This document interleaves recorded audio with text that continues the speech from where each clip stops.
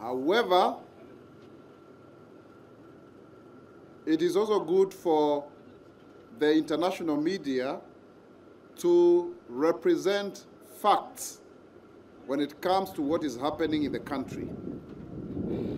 The BBC, in its article about Kenya, is asserting that Kenya is one of the most highly taxed countries. Nothing can be further than the truth. Our country taxation is at most 36% compared to countries in the West, including the UK itself, that at times are taxing people over 50% of their income. So that, I think, is a misrepresentation of facts. Number two, the cost of living.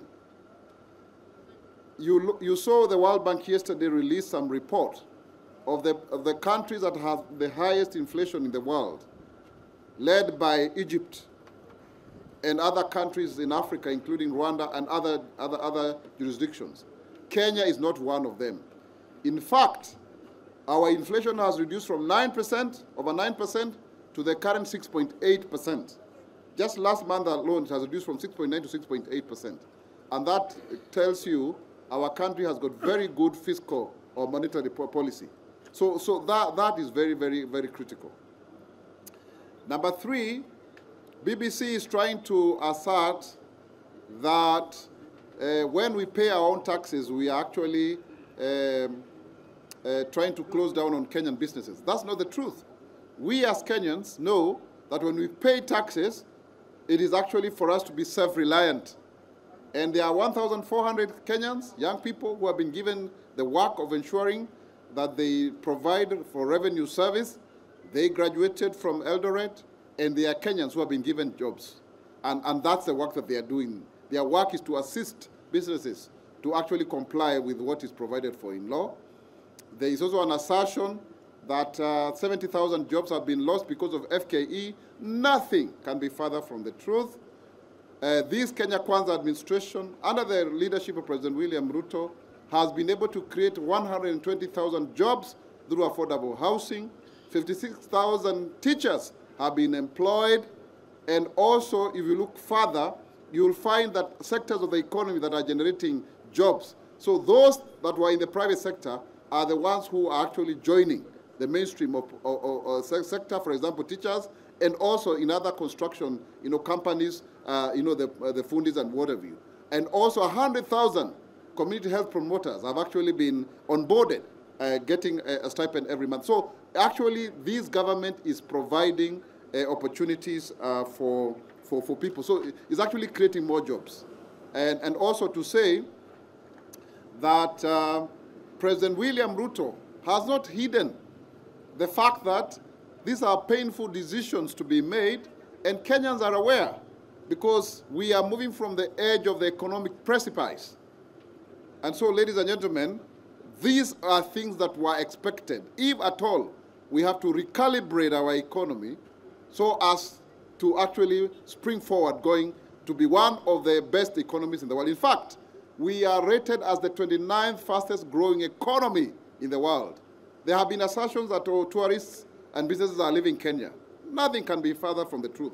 While it is, while it is actually a fact that foreign direct investment has reduced over the past few years, but now the, the kind of um, measure that this government is doing to ensure that we attract investors, many are flocking to want to invest in this country. And, and you, that's why you can see our president moving from one country to another because people are expressing interest, uh, you know, in terms of even production of some of the key, uh, you know, items that are needed by the market, uh, you know, in, in this country, including vehicles and so many other forms of manufacturing uh, that, that we, are, we are trying to leverage on, including the nine value chains, uh, you know, that we are looking at as form of a springboard for, for industrialization.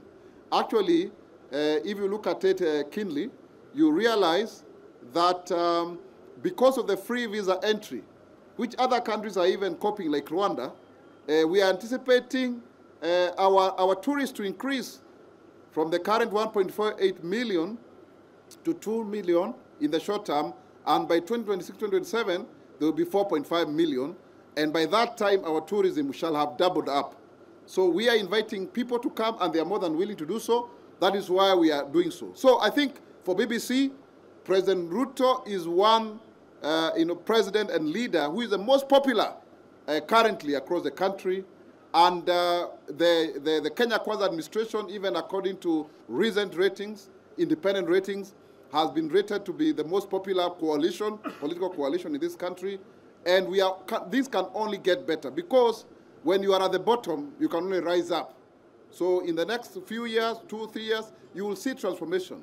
And President Ruto has spoken very clearly that in 10 years' time, Kenya will be, uh, no, you, can, you will not be able to recognize Kenya. And part of it is also the, uh, the, the, the dividends for devolution. So really, we are calling upon the government of Kenya is calling upon the BBC to get the facts right. There is freedom of the press, but let, let them report factually, and they should be able to retract uh, that uh, you know, you know, you know, article and apologize for wrongly misleading the world about the fact. And we'll issue an official uh, you know, statement written uh, in that regard because we must defend uh, what is actually factual. So with those remarks, let me uh, now read um, this statement. Highlights of the flooding situation in Wajir County. As we speak, an estimated 11,600 households, that is 69,600 people, have been affected, uh, out of which 6,010 households were displaced. Uh, there are reports of about seven people who have died here in Wajir uh, due to drowning and stagnant water, mainly water pans. Uh, the, the, massive flooding uh, that has been witnessed here ended up resulting in widespread impact uh, in nearly all the sectors of the economy, and uh, there are extensive damages to houses uh, and critical infrastructure, especially roads and bridges, and also shops, farms, markets, schools and boreholes, water pans, and sanitation, uh, uh, sanitation facilities. Uh, the numbers are as follows. There are 75 boreholes that have been affected and 54 water pans across the county. And this has affected uh, communities' access to clean and safe drinking water uh, in, in, in, the meantime. Uh, further, 42 health facilities and 212 outreach sites uh, uh, were cut off and were inaccessible. Now they may, be, uh, they may not be cut off, but the roads are really damaged. And this has really negatively affected provision of critical health and nutrition services to over 200 communities uh, that are spread across uh, this county. And it is important to note that uh, this county is so huge, it is actually the size of 26 counties combined. It is really, really huge, uh, bordering both um, uh, Ethiopia and, and, and Somalia. Uh, and so it's, it's, it's, it's a very uh, critical aspect. Um, uh, 13 sub-counties, six constituencies, quite vast. A total of 80 schools have also been uh, damaged, and so access to schools remains a big challenge. and of course, we'll work with the local administration and the county government to ensure that uh, normal schooling uh, resumes uh, comes in uh, come January. 1,705 acres of farmland has been destroyed across the county, and most of these affected sites are inaccessible by road since the roads uh, serving them have been severely affected by the floods. This has resulted in acute shortage of essential goods and services. And the situation might deteriorate if it continues to rain in the next one week. But we hope that uh, now uh, we will not, because most of the rain has moved to uh, Kilifi, as I may have briefed you yesterday, and Western Kenya, that this place is actually safe. Despite these challenges, the government interventions continues across this county, provision of food supplies, medicine and non-food items continue throughout the county by road and also through airlifts.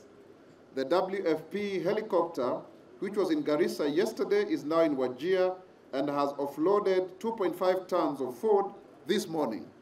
We are glad to report that no Kenya has actually died out of hunger, which is very, very commendable uh, because we just come from drought and now flooding, but nobody has died out of hunger, and we must really commend uh, the national government in collaboration uh, with the county government because of this, uh, you know, reality and outcome. The government is very keen in post-flooding interventions to ensure urgent return of normalcy and weather forecasts indicate that Wajir will remain dry except for little showers this weekend. So this is the position of uh, uh, the National Emergency Response. But also this morning, uh, Madam Mercy uh, led a delegation uh, together with PS Idris Dokota and myself uh, in, accompanying her. We have some materials that we came with. you know, the, the, the plane that we came with, we came with a lot of uh, materials, I think about two tons or thereabout, uh, which then, of course, will be distributed. Uh, but also, here we have uh, vehicles, and I'm going to read what they have, uh, and then um, uh, after the dignitaries are able to address, then we'll go and launch them. So in those vehicles there, GKB 541G, we have 200 pieces of blankets. We have rice, 200 bags.